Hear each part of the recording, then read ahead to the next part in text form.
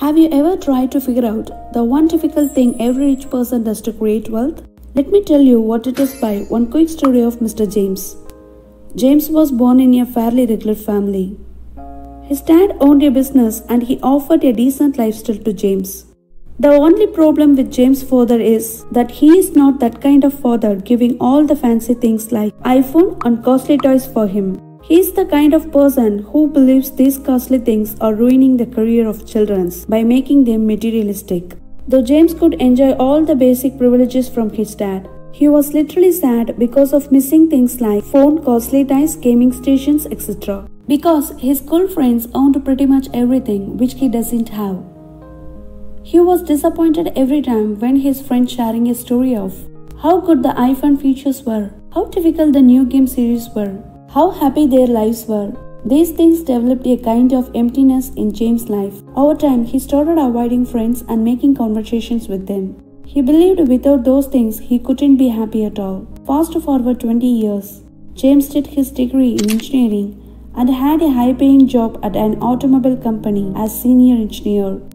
The company has offered pretty much all the benefits like free meals, dental care, subsidized gym membership, flexible working hours, housing allowance, etc. Due to this, James became highly independent and he bought pretty much everything he wanted. He even built a large house in the main area of the city.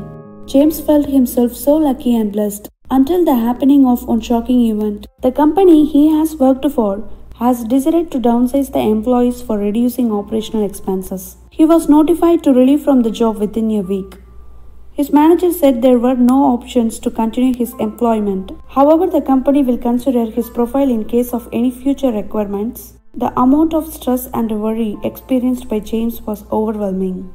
Upon returning to his home, when he sat back on his sofa and began to think, his mind has reminded the bills and loan premiums yet to be paid in the month end, like the premium for housing loans, cards, credit card dues, etc. Literally, he was overwhelmed with the sadness and crying. The materials which have given happiness and fulfillment were now turned into the source of stress and depression. That moment remembered his strict father and the reasons why he said no for being materialistic and the person of being instantly gratified. Not only James, 98% of people were committing this mistake that makes them poor and less successful. The one difficult thing every rich person has to create wealth is following the principle of delayed gratification. It's your ability to delay the immediate pleasure to receive a more favorable and bigger reward in future. This is something that relates to your self-control, patience and willpower. This is one of the most important habits that exists behind every successful person in the world. To be clear, this is not only about controlling your temptation to buy things. Instead, it's about your ability to struggle now for the bigger and better future reward.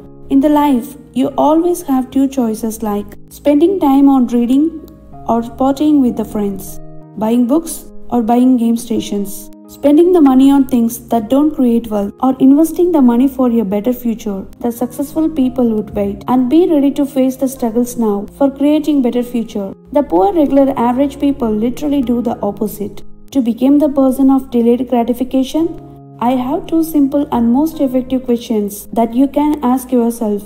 First one is before spending anything of yours like time or money, ask this question Why do I need this? Did I really need this to be happy? Or I'm just intending to buy the things to appear rich? If you buy anything simply because your friends were owning them, or if you spend anything just to get the social attention, literally you are on the wrong path. The second question is How did this help to become more wealthy and successful? When you ask this question, your life will change. You won't be attracted by costliest things.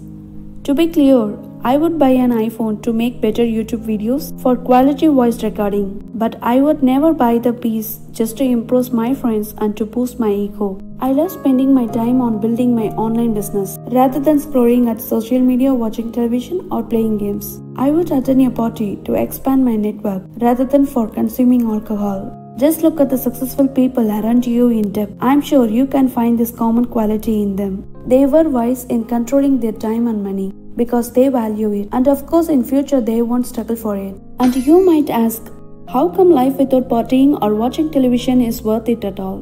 The answer is I value my time and money, and I believe doing things that explore my life purpose and unleash my potential is the most important thing, and I would never compromise it for any reason. I believe happiness is something that we can find inside every one of us. No matter how costly the thing is, it values less than your happiness and your own self. Trust me, your life has a purpose and your story is important.